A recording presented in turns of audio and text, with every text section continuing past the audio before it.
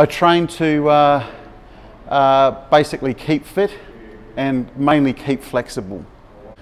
Um, I like the group sessions uh, and the fact that uh, uh, I see other people, you know, doing what I'm doing and having the same struggles, and it makes you motivated. Yeah, I'm working towards, uh, you know, just an overall fitness level and a uh, and a drop in weight.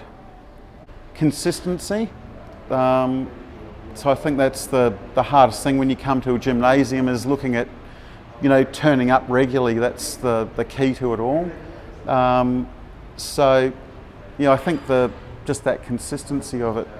Um, the favourite day is probably Monday, um, just because it's the start of the new week.